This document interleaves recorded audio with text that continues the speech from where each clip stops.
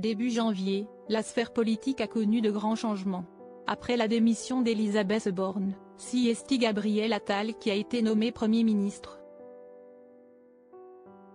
L'homme politique de 34 ans a donc effectué certaines modifications au sein du gouvernement. Il a par exemple choisi Rachida Dati pour la culture ou encore Priska Zevno pour être ministre délégué. Des choix qui ne font pas l'unanimité. Ce jeudi 25 janvier, invité dans Quotidien face à Yann Barthès, Boris Vallot a d'ailleurs poussé un coup de gueule contre le gouvernement.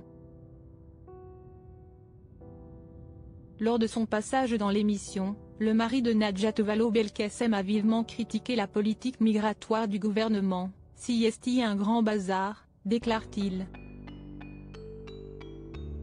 Avant de raconter l'histoire d'un homme qui travaille en situation irrégulière et qui peine à obtenir un rendez-vous à la préfecture pour le renouvellement de son titre de séjour, il perd son droit de travail.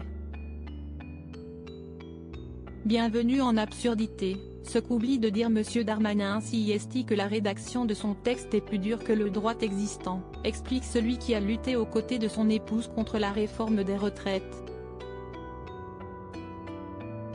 Supérieur à supérieur à qui sont les ministres du gouvernement Attal François Hollande, ce qu'il pense de Gabriel Attal et de son gouvernement Le nouveau gouvernement ne fait définitivement pas l'unanimité auprès de la population, mais aussi auprès du monde politique.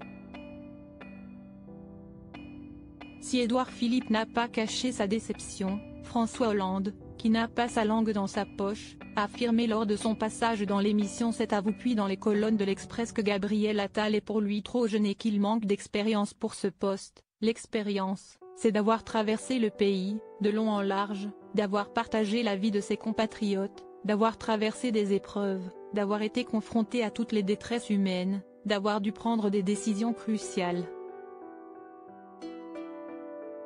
Un Premier ministre et tout un gouvernement qui va donc devoir faire ses preuves. Crédit photo, capture d'écran TMC.